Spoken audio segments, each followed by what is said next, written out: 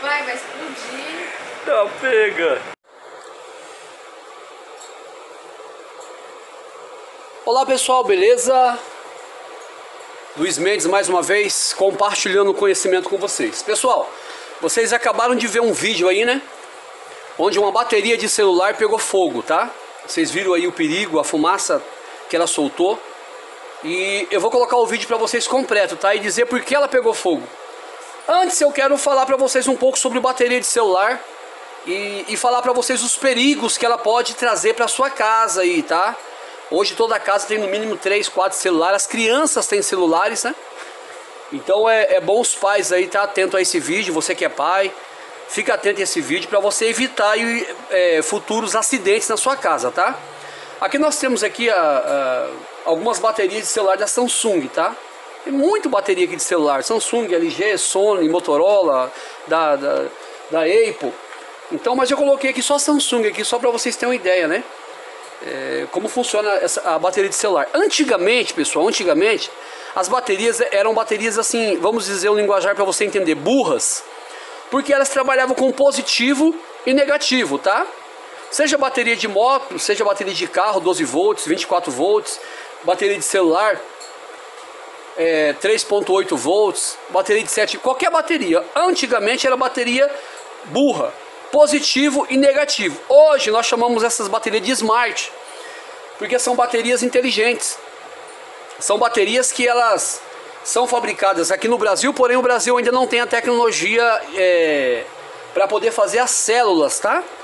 O Brasil ele, ele, ele, fabrica o que? A plaquinha lógica, isso aqui, tá vendo? Essa plaquinha lógica que faz toda a gestão da bateria, essas baterias modernas. Mas as células, ainda o Brasil ele, ele pega tecnologia chinesa ainda, tá? É, então essa plaquinha lógica aqui, ó, hoje as baterias são smart por quê? Porque as baterias vêm com essa plaquinha lógica. Essa plaquinha lógica ela vem com CI e com alguns componentes.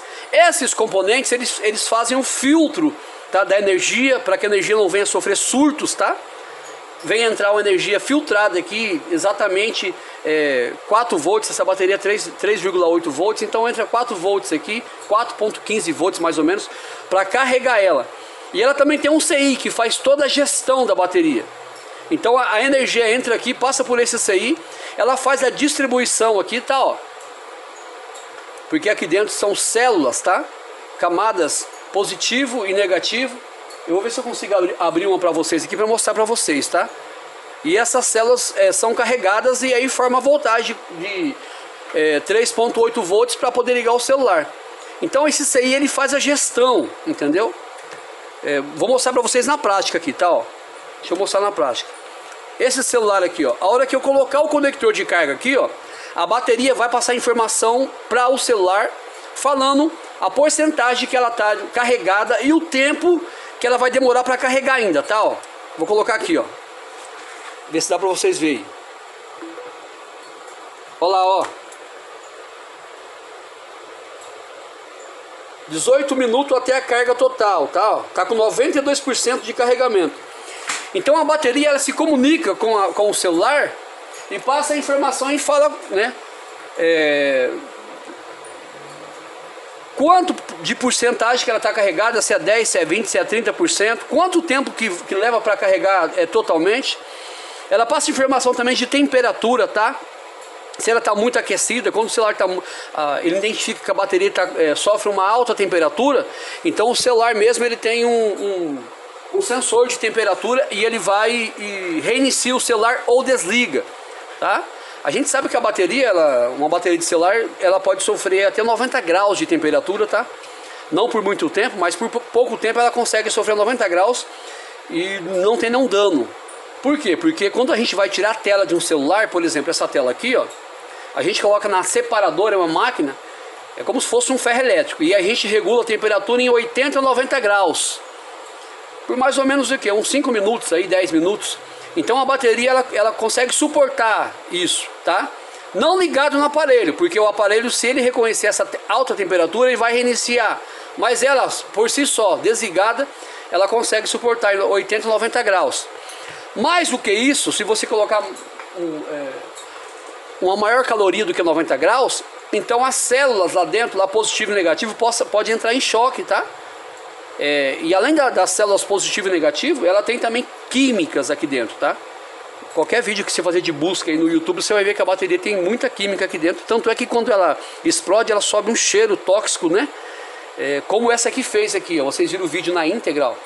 J5 Prime essa bateria. Vou falar já já desse vídeo, tá? Então são baterias inteligentes, pessoal, ó. Dá uma olhada para você ver, ó. Tem uma plaquinha, ó. Ok? Essa aqui já não tem uma plaquinha, muito antiga, tá vendo? Vou medir aqui para vocês, para vocês verem que, por exemplo, essa aqui, ó. Ela tá com 3.8 volts, ó. Olha lá, 3.8 volts.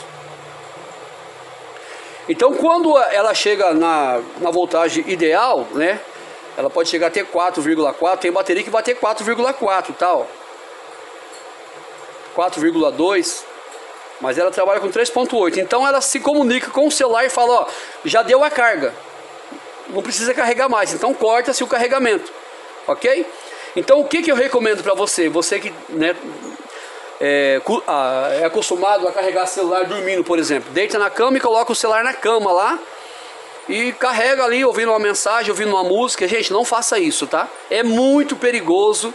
Qualquer busca que você fizer ali no YouTube você, e coloca assim, ó, acidente de celular, celular pega fogo, você vai ver algumas reportagens falando de, de casas que foram incendiadas por quê? Porque as pessoas colocam o celular para carregar em cima de, de materiais que têm uma certa facilidade para pegar fogo. Colchão, sofá, um, é, uma roupa.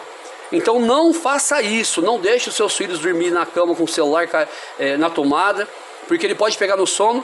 E aí esse gerenciador de energia ele pode falhar, tá? Essa bateria já pode estar com um tempo de vida útil muito, muito grande aí, um ano, dois anos, e ela pode falhar e pode sofrer uma, um, uma carga além daquilo que ela suporta. Então as células que trabalham com 3.8 volts pode entrar em choque e pegar fogo.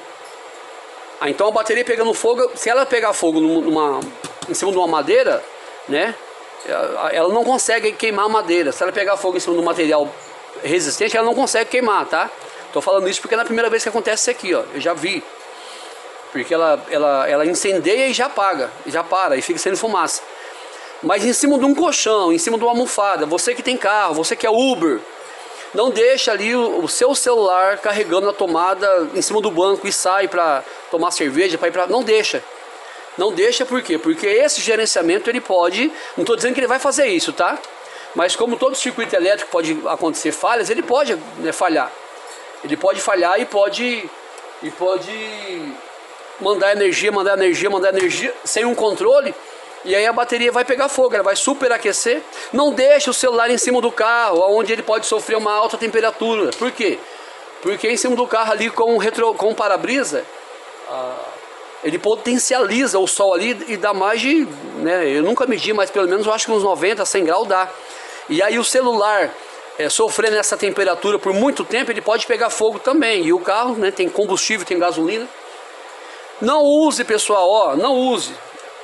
Vou mostrar para vocês aqui, ó. Não use o celular aqui e fica jogando e fica mexendo. Vai carregar? Eu sei que é difícil, eu, às vezes eu, eu acabo fazendo isso. Mas vai carregar o celular? Deixa o celular carregando a tomada. Aí depois você tira da tomada e vai usar ele. Quando você usa o celular carregando, esse CI de gerenciamento, que faz o gerenciamento e manda, por exemplo, ah, o Wi-Fi do celular, ele quer 1.2 volts. O alto-falante quer 2 volts. A tela, que é 20 volts. É, o, a câmera também, porque todos os periféricos do celular aqui, ó, eles trabalham com a voltagem, tá? O alto-falante, o auricular, o viva voz, é, a câmera frontal, traseira, tá? Tudo trabalha com a voltagem. E aí ele pega e, e fica, pô, vamos mandar energia para onde? Eu estou carregando o celular, aí você abre um jogo para jogar, manda mensagem, é o Bluetooth é o, é o chip, tudo consome energia. Então ele fica doido, ele, ele, ele sofre um aquecimento. E aí você vai danificar o seu celular. Não faça isso também. Outra coisa, vai comprar carregador, pessoal? Não precisa comprar um carregador original. Né, que a gente sabe que é caro. Se você quer, tem dinheiro para comprar, beleza, compra o original. Mas se não tem, compra um primeira linha bom. A gente sabe que tem carregador de primeira linha bom. Eu aqui vendo né? É, H-Maston e, e Nova, é top, top, top, muito bom, tá? Mas não, vai lá e compra aquele bem, o mais baratinho, o carregador de 15 reais. Aí coloca no celular. É, são carregadores que é feito aí em fundo de casa, os componentes são componentes de terceira linha, fracos. Ele vai, não vai mandar a informação correta aqui. Aqui tem que entrar 5 volts exato. Aí ele vem alterado, entra 4 volts, entra 5 volts e meio. Então você danifica o celular por causa de um, de um carregador e por causa de 20, 30 reais a mais. Então não compre. Tá bom, pessoal? Deixa eu, deixa eu é, é, desfazer uma coisa que, é, que é, é um mito, tá? É, ah, a pessoa morreu eletrocutada com o choque do celular. Não existe isso, gente. Né? Se você já é, viu alguma coisa ou tem que comprovar, então você comenta aí pra gente discutir sobre o assunto. Mas ah, o celular trabalha com 5 volts, tá? Essa bateria vocês viram aqui, ó. Ela tá com 5 volts, ó. Deixa eu mostrar pra vocês, ó. Deixa eu pegar uma... Vamos pegar essa bateria aqui, ó, só pra vocês verem com quantos volts que ela tá, ó.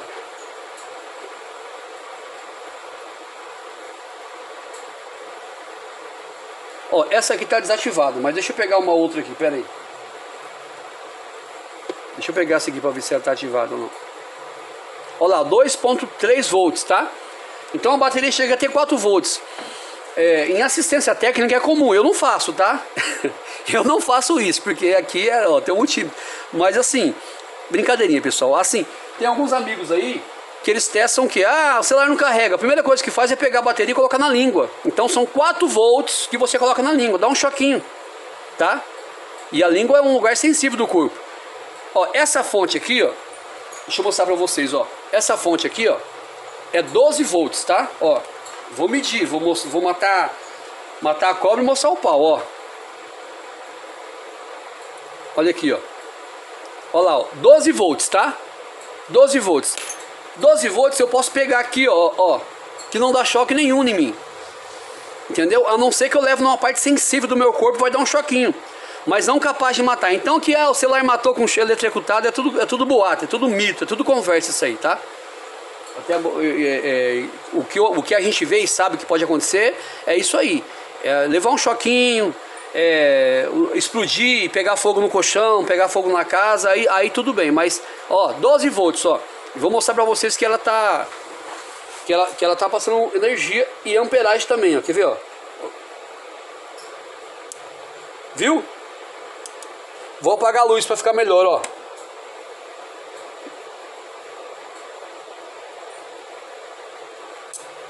Vocês viram?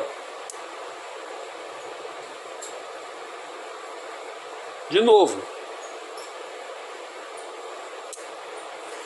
12 volts. Então, ó, eu pego na mão, tá vendo? Então é conversa, é, é, é boato, tá? Pra matar com choque tem que ser 110 volts, só é lá, né? Se tiver na água, por exemplo, entendeu? Um micro-ondas que tem um... Mas celular não. Então, pessoal, é... Na realidade, esse vídeo que vocês viram aí, essa bateria aqui pegando fogo, olha só como que ela ficou.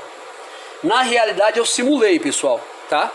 Eu fiz a simulação, eu fiz a simulação para alertar vocês aí que é muito perigoso. Eu vou colocar uma foto aqui, ó, tá?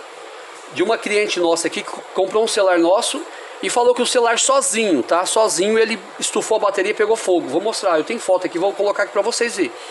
Isso é real. Trouxe aqui para mim, eu dei outro celular para ela, tá? Tava na garantia o celular ainda, eu nem quis questionar se se a garantia era válida para isso ou não e dei outro celular para ela. Então isso aqui pode acontecer, não é brincadeira, tá? Olha, olha, olha só como que ela ficou essa bateria aqui, ó. Ó, eu disse pra vocês que são células, né? Ó, ó, ó como que é, é como se fosse papelão, ó, ó, ó, ó, tá vendo? Ó, como se fosse papéis, né? Só que tem química aqui no meio, tá bem feito, ó. Ok, pessoal? Então bateria, as baterias de hoje são baterias inteligentes, porém elas podem falhar. E se falhar, que falhe num lugar aí seguro, tá? Eu aqui na minha loja mesmo, eu evito de deixar celular carregando a noite inteira, tá? Então você vai viajar, tira da tomada. Qualquer aparelho que tem bateria, tira da tomada, entendeu? E se deixar na tomada, não deixe num lugar que possa causar um incêndio, tá? Numa cama, num colchão, no sofá, para que você possa evitar aí é, futuros acidentes. Tem um vídeo aí que um, um técnico está manuseando um celular com um secador de cabelo. Só que a bateria, eu acho que ela já estava um pouco aquecida e, e o, sec, o secador de cabelo ele dá pelo menos aí uns 150 graus, né? E ele jogou muito ar quente. Então quando a bateria sofreu esse aquecimento de 150 graus, por exemplo, por muito tempo ela explodiu na mão dele. É só você colocar o vi é, aí, o celular explode é, na assistência técnica, que vocês vão ver, tá? Então no demais, pessoal, é, é de boa, tá? Se tem um carregador original, pode colocar para carregar, deixa carregando, tá? Acabou de carregar, tira, ele vai dar 100%. Quando o gerenciador em ó, tá aqui quanto? 96%. Quando ele entender que deu 100% aqui, tiver carregado, ele vai se comunicar, vai parar de carregar, beleza? Só que acidente acontece. Pessoal, é isso aí, tá? Eu espero ter ajudado vocês. Se vocês gostaram do vídeo, já peço que vocês cheguem aí curtindo, dá o like, tá? Compartilhe esse vídeo aí. Vai ser muito legal aí, tá? Vou colocar o vídeo de novo para vocês verem aí agora, tá? Beleza? Um abraço, gente. Valeu!